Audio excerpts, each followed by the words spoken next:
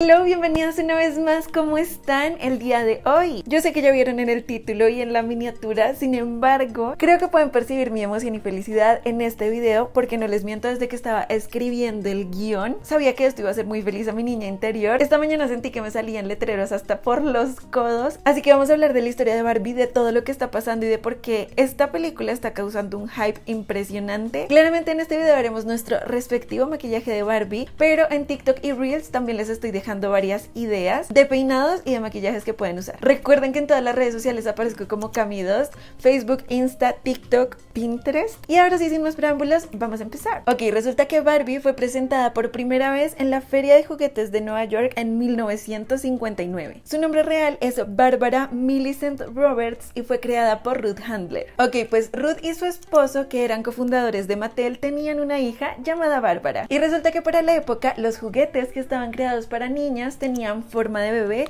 con la finalidad de incentivar el instinto maternal. Por supuesto. Sin embargo, Ruth notaba que su hija al jugar con sus muñecos que eran de papel les daba connotaciones de personas adultas. Prácticamente los hacía actuar con roles de personas más grandes. Y fue en ese momento que Ruth pensó que sería una excelente idea traer al mercado una muñeca que tuviera características físicas más adultas que le permitiera a las niñas soñar con una futura carrera además de ser mamás o amas de casa. Pues para esto ni su esposo ni los de Mattel estuvieron de acuerdo con la idea. Y fue en un viaje a Europa que Ruth conoció a la muñeca Build Lily, que curiosamente era una muñeca más bien pensada para un público adulto. Eran estas típicas muñecas que pudieras encontrar en una despedida de soltero. Se usaba mucho como bromas entre hombres. Esta era una muñeca que justamente salía en los cómics de la revista Build y justamente el marketing de esta estaba pensada para un público más adulto. Sin embargo, Ruth al verla pensó en su hija Bárbara y sin dudarlo le compró una. Lo curioso es que con el tiempo esta muñeca Lily se popularizó también dentro del público más joven y era considerada como una fashion doll, como una muñeca que puede representar la moda. Y acá fue donde Ruth junto con Jack Ryan rediseñaron la muñeca para crear la primera Barbie, que de hecho es esta de acá. Esta muñeca se fabricaba en Japón y sus trajes eran hechos a mano. Y este fue uno de los tantos icónicos vestidos que llevó Margot Robbie en Australia, hecho por la marca Herbalier, diseñado justamente a la medida. De verdad, el marketing de esta película es todo lo que está bien. Que por cierto, hablando de marketing y de lo mucho que puede llegar a impactarnos, y de esto ya vamos a hablar más adelante, quiero hablarles del patrocinador de este video, que es la escuela EVAC. Esta es la Escuela Británica de Artes Creativas y de Tecnología. Ok, pues déjenme contarles que en EVAC encuentran profesiones y cursos bastante útiles para poder complementar su carrera o mejorar habilidades laborales. Debo confesarles que yo vi varios cursos que me llamaron la atención. Estaba algo confundida por no saber cuál tomar entre brand e identidad visual, community management y fashion marketing. Y como yo estoy buscando herramientas para crear mejores estrategias en redes sociales, que al final es mi trabajo, decidí por el de community management. Me gusta que en la página encuentras no solo a quién va dirigido cada programa, sino también cuánto es el salario que puedes llegar a cobrar desempeñando esta profesión. Con este curso puedes aprender a crear una marca, el desarrollo de estrategia, la gestión de redes, además de contar con un diploma profesional al finalizar tu programa. Los profesores tienen amplia experiencia experiencia trabajando en grandes empresas? Claro que sí. Y me gusta que cuentas con un proyecto de grado para realizar tu portafolio. De hecho, si necesitas ayuda con tu CV o portafolio, también tienen especialistas que estarán a tu disposición para apoyarte en el proceso. Y al comprar el programa vas a tener acceso de por vida para que puedas aprender a tu tiempo y ritmo en donde quiera que estés. Les voy a dejar el link en la cajita de información para que vayan y exploren porque no solo tienen temas de marketing claramente, también pueden aprender sobre diseño, gaming, programación y data, software y fashion y pueden usar mi código para tener un 60% de descuento. Así que aprovechen. Y resulta que después del lanzamiento de Barbie y tras una demanda de la compañía que fabricaba la muñeca Build Lily, Mattel decidió comprar los derechos de esta muñeca para no tener más problemas y poder crear todo el universo de Barbie. Ok, pues Barbie, esta muñeca, se vendía como si fuera una modelo adolescente. Y piensen por un segundo en lo revolucionario que era una muñeca en vestido de baño que no estaba casada y que trabajaba como modelo en 1959, que como bien lo dice este artículo, una muñeca que les permitiera a las niñas soñar en torno a su futura carrera era una idea radical en 1959. Barbie era una muñeca que se vendía en gran parte por los comerciales de televisión.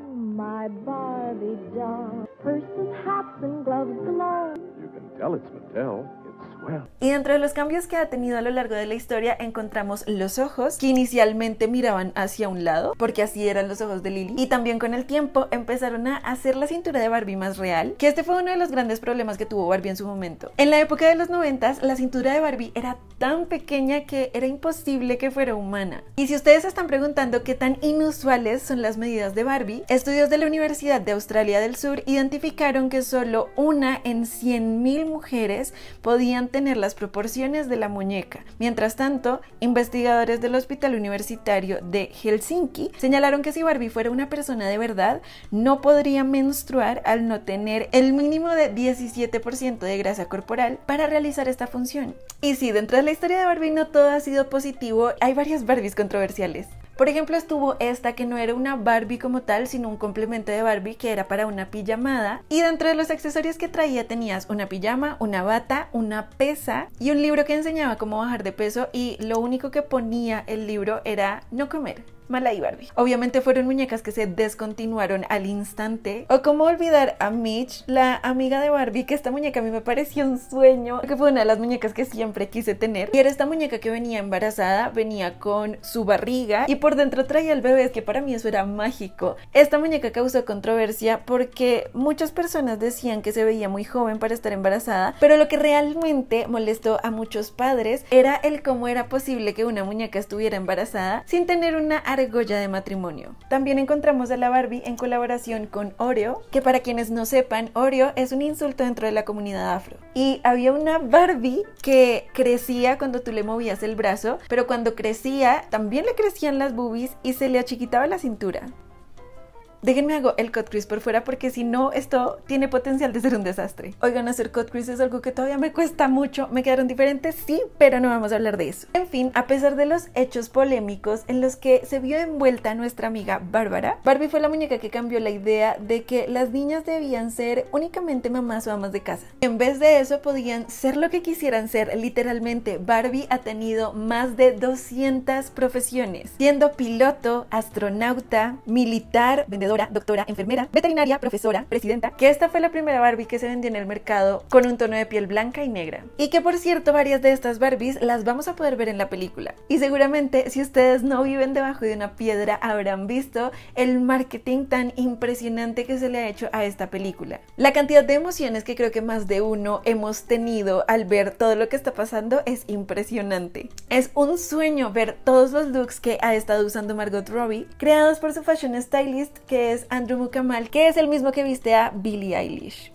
y que definitivamente los looks que nos ha dado de Margot Robbie siendo Barbie promocionando la película son un 20 de 10. Como el costume valentino imitando a la Pink and Fabulous Barbie de 2015 o el mosquino que usó en Seúl inspirado en la Sparkling Pink Barbie de 1964. El look de Barbie Date at Night era una Barbie que podía cambiar su vestido de día a noche y por supuesto que Margot Robbie usó los dos. Que acá podemos apreciar hasta el teléfono grande de la época como accesorio y que me dice de el vestido de Emilio Pucci que usó en México representando a la Totally Hair Barbie del 92 genuinamente siento que en esta producción le han puesto cuidado a cada detalle. Por ejemplo, el hecho de que se hubieran tomado el tiempo de pintar todo el set a mano, como si fueran los juguetes reales donde habían cosas que simplemente eran en 2D, o que la directora de la película, Greta Gerwig, junto con una diseñadora de interiores, compraron la Dream House de Barbie solo para ver realmente cómo era el juguete y poder recrearlo en los sets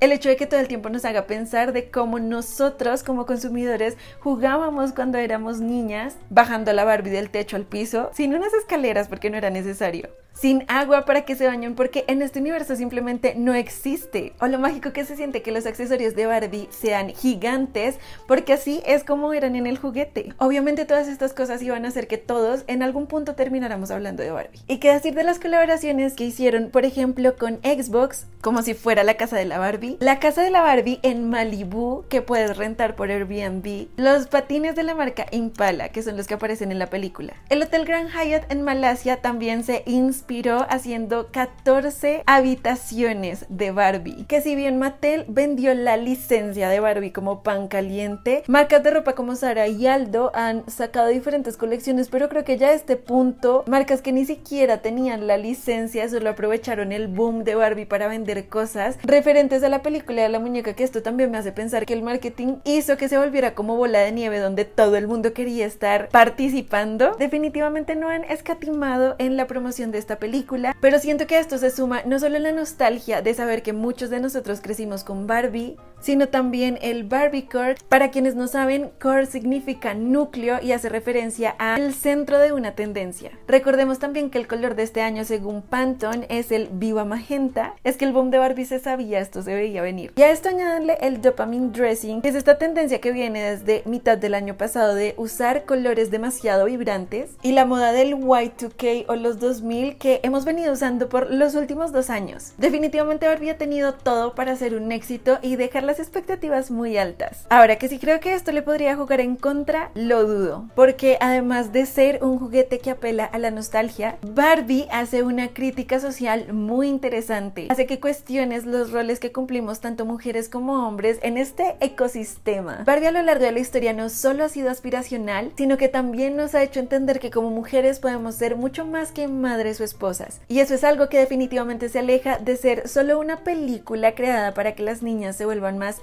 plásticas y superficiales. Que de verdad, si esto es lo que interpretan algunos señores después de ver el tráiler, o vieron un tráiler diferente, o tienen esto de comprensión. Y eso ha sido todo por el video de hoy. Espero que les haya gustado mucho, que se hayan entretenido y hayan aprendido algunas cosas sobre Barbie. Este fue el resultado del look final que amé.